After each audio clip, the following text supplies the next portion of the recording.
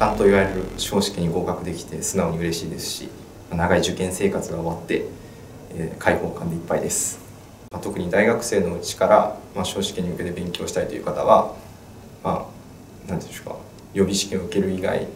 選択肢がないというか予備試験に受からないと司法試験受けられないので大学在学生の方はぜひ予備試験を目指していただければと思います。と予備試験を合格するために僕は非常に問題演習をその反復してやっていて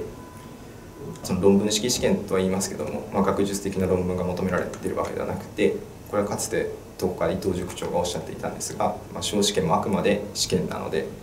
まあ、本当に試験問題として解けるようにそして答案を書けるように練習をすることが非常に大事だと思います。そして問題を解けるように答案を書けるようにするためには教科書や基本書を読み込むよりも問題演習や問題集や過去問を非常に繰り返して演習して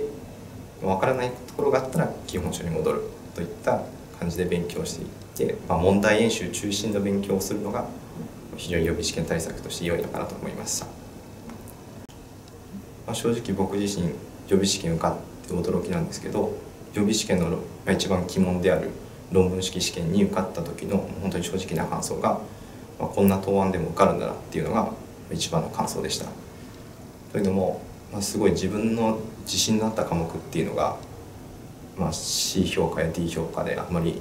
振るわなかったり逆に自分の自信がなかった科目であっても A 評価がついたりとすごいばらつきがあって、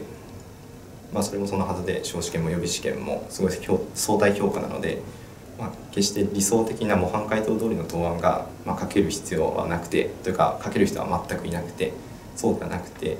まあ、受験生他の受験生と同じか、まあ、それよりちょっといいぐらいの答案を書けるだけで、まあ、合格できてしまうような試験なので、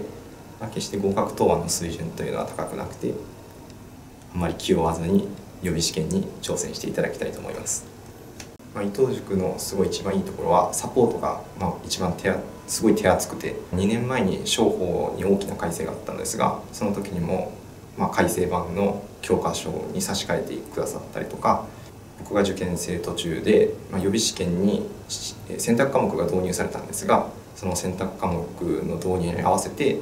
その選択科目の対策講座っていうのを無料で受講させていただいたりしました。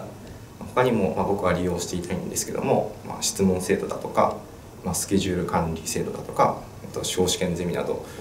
まあ、いろいろサポートが手厚いので、そういった点が伊藤塾の魅力だと思っております、まあ、基礎マスター段階では、まあ、法律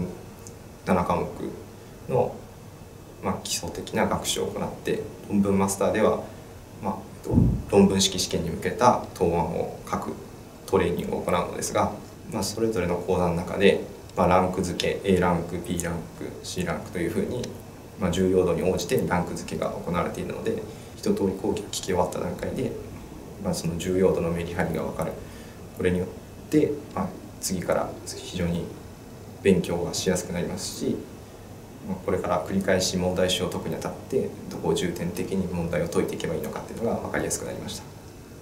まあ、伊藤塾には、まあ、僕の周りにも受講生たくさんいますし先輩方もたくさん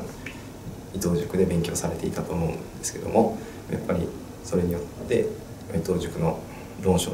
集っていうのは、まあ、受験生の間でも出回りやすくて、まあ、それを使わないと落ちるとまでは言わないんですけどまあそれを使うと非常に合格答案のレベルまで引き上げてくれるので、まあ、そういう論証集から分かるようになんか先輩方が今まで積み上げてきたノウハウっていうのが非常に詰まっているのでそういうところが伊藤塾の魅力の一つなのかなと思います。僕は非常に、えっと、刑事裁判に興味があるのでできれば検察官や、まあ、刑事弁護といった、まあ、刑事裁判に携われるような放送になりたいです。